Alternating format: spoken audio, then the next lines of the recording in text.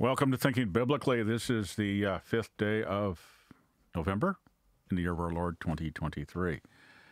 You know, once upon a time, there was sort of a cult classic film made called Idiocracy. And it was about somebody that awakes in a society, finds himself back in a society. I can't remember the exact circumstance. Uh, I think he might have been frozen and unthawed or something like that. And he, he awakens in a world that is ruled by idiots.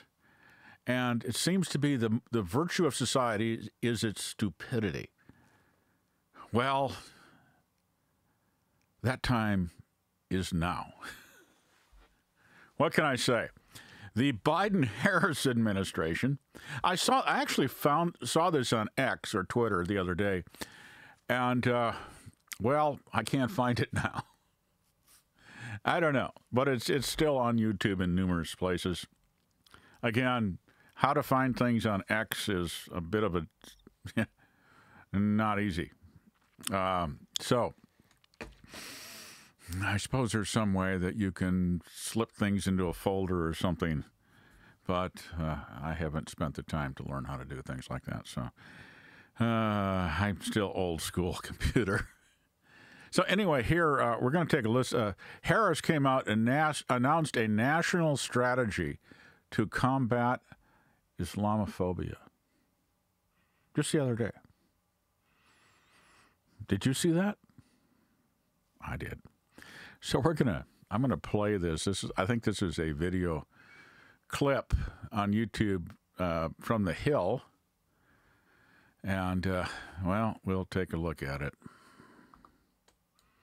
For years, Muslims in America and those perceived to be Muslim have endured a disproportionate number of hate fueled attacks. As a result of the Hamas terrorist attack in Israel and the humanitarian crisis in Gaza, we have seen an uptick in anti Palestinian, anti Arab, anti Semitic, and Islamophobic incidents across America, including the brutal attack of a Palestinian American woman who was Muslim and the killing of her six year old son.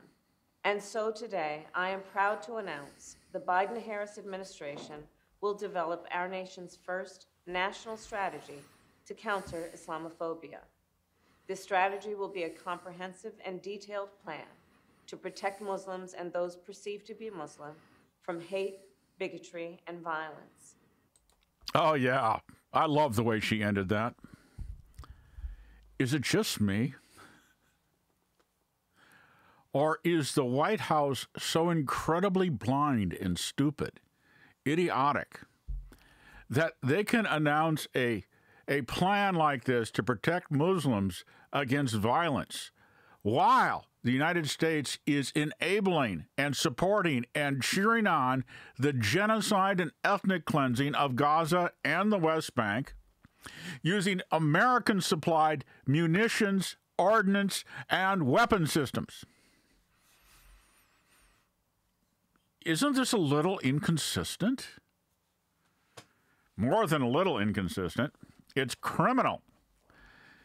So, what happens when your, your country is ruled by a criminal gang of idiots?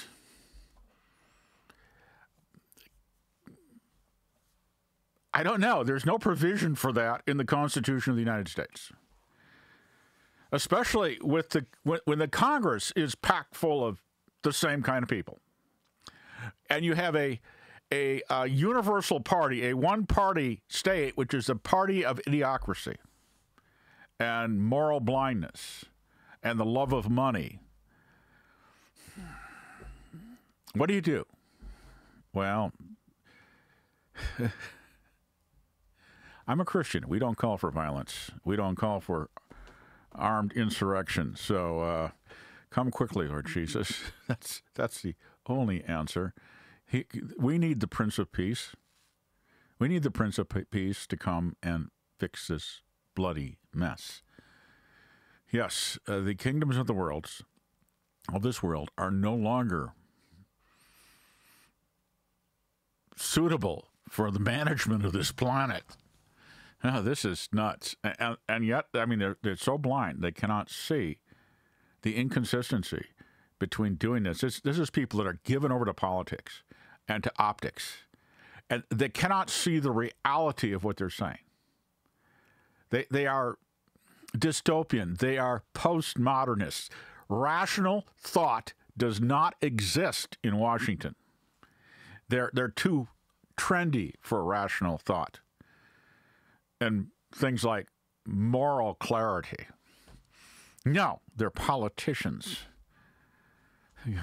and serve in the best interest of themselves.